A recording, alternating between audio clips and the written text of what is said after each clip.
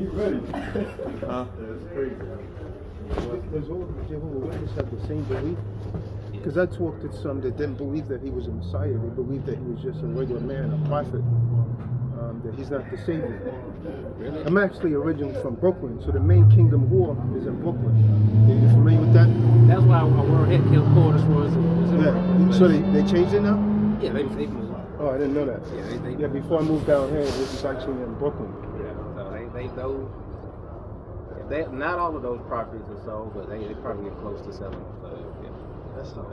Yeah, but We- i- we is, are- there any specific is there any specific reason that they hang on to the name um, Jesus, right? Because if we looked at that realistically, would he actually acknowledge that name? Would he have known about that name? Consider this: he walked the earth over two thousand years ago, right? Yes.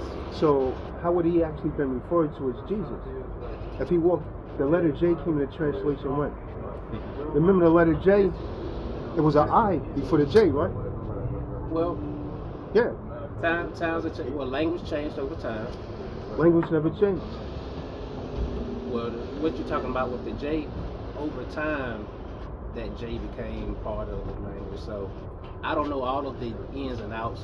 Just off the top of my head, I can do the research and get back with you on that. But me just So to, yeah, do, do research on this, right? So we um we speak the Greek, right? That, that the original Torah was written in, hmm the um the Hebrew, right? So there is no J in Hebrew. In the Greek, there's no J. Okay. The J was essentially a I that came from Latin, Mhm. and the I was pronounced with the Y sound, right? Okay. So the name that they're using, the um, Jesus, came from the Greek Jesus, right? That's where that essentially came from. But when you look at the Greek, if you look at the Greek alphabets and look at the Hebrew alphabets, like the Greek alphabets was actually taken from the Hebrew language. Like, did they teach that at the Kingdom Hall? And Latin, so it's a mixture. It's a mixture of Latin and Greek. So, I don't want to say this. The name, the pronunciation of the, pronunciation of the name is not something that we're going to focus on. And so someone give me um whoever call upon my name shall be saved. So if the scriptures say he that call upon my name shall be saved, then if we're calling so what, what's your name, sir? My name's Neil. Neil. All right, brother Neil. Let's say if you're walking down the street and I say, Hey Richard, We pray to Jehovah. Romans 10 13. oh, So- I got, uh, Jesus has a role in Well, hold on. God's will, but we don't pray to Jesus. so you pray to Jehovah. So we got the same problem. You're using the J for Jehovah. Where did that come from? See, still you're not calling on the name of the Savior, you see? Because the J is back. I can I can come back. Do some research on the J. I've, I've done it. Oh, you have? I've done it. Oh, and well. um, the J that that is a common pronunciation in, in the land that we in now. Now may go somewhere else, they may pronounce it differently. But like I say, with the J and all, all of that, but we are sure. We don't want to be. I'm not going to be dog dogmatic about it, but that is a common pronunciation of the name as we understand But so, but see, when we deal with antiquity, right, Neil? We, we, we cannot dispute this, right? If we're dealing with antiquity, if a Mashiach walked the earth over 2,000 years ago, right? it. Mhm. And he was never referred to that. In the script, bring, read that precept. This is the book of Romans, chapter 10 and verse How about it? 13. For whosoever shall call upon the name of Yahuwah shall be saved. So if we're calling on the name Jesus or Jesus, how can we be saved? Because he walked the earth over two. All salvation comes to him, right? We- Are we in agreement there? I'm gonna say this. Um, I'm not gonna get into. I think that's a, a, a, conversation of semantics. Semantics? You know, or just language. And I'm not. A, I'm not a lingual expert by no means. That is not my expertise at all. But what I can do, I can take your information and I can return to you, and we can have that conversation if you like. All right. Because that is a conversation I'm not prepared to have with you today. All right. We was out, we was out here just making brief calls to the neighborhood to invite people to an event that we find very important.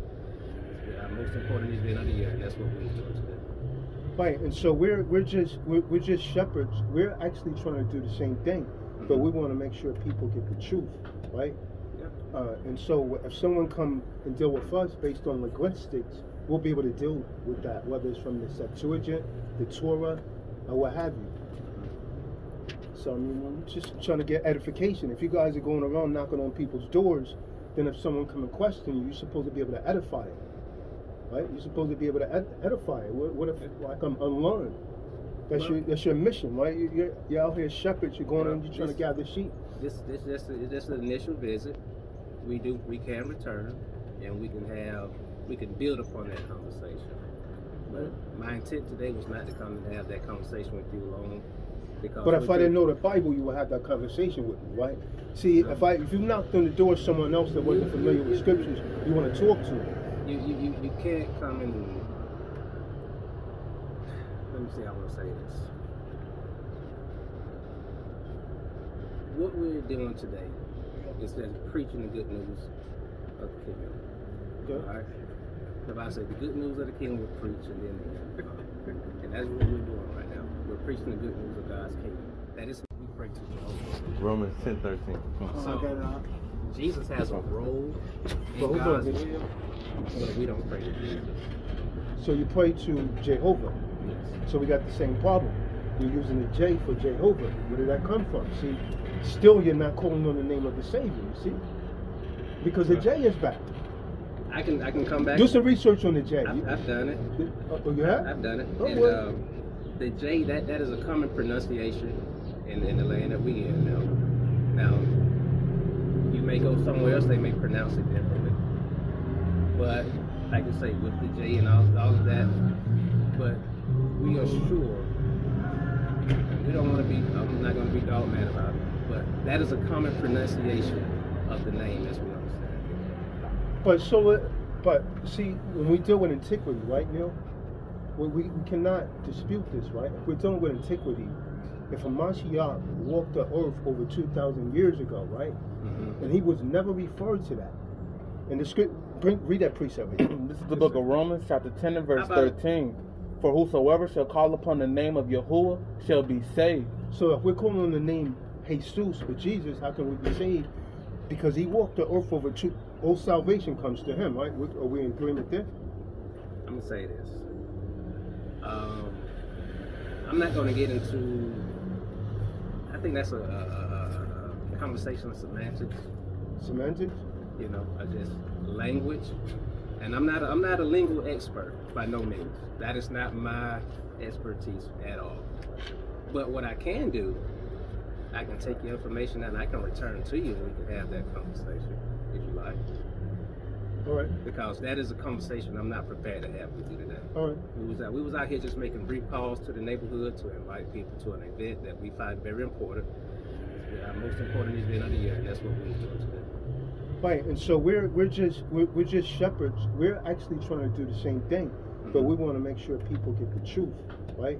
Yeah. Uh, and so if someone come and deal with us based on linguistics, we'll be able to deal with that, whether it's from the Septuagint, the Torah, or what have you. So I mean, I'm just trying to get edification. If you guys are going around knocking on people's doors, then if someone come and question you, you're supposed to be able to edify it, right? You're supposed to be able to ed- edify it. What, what if like I'm unlearned? That's your that's your mission, right? You- You're, you're out here shepherds. You're going in. You're trying to gather sheep. This this just is just an initial visit. We do we can return, and we can have we can build upon that conversation. But my intent today was not to come and have that conversation with you alone. Because But if I didn't know the Bible, you would have that conversation with me, right? See, if I if you knocked on the door of someone else that wasn't familiar with scriptures, you want to talk to them. you, you, you, you can't come in. and let me see how I want to say this. What we're doing today is just preaching the good news of the kingdom. Okay? All right. The Bible said the good news of the kingdom will preach and then the end.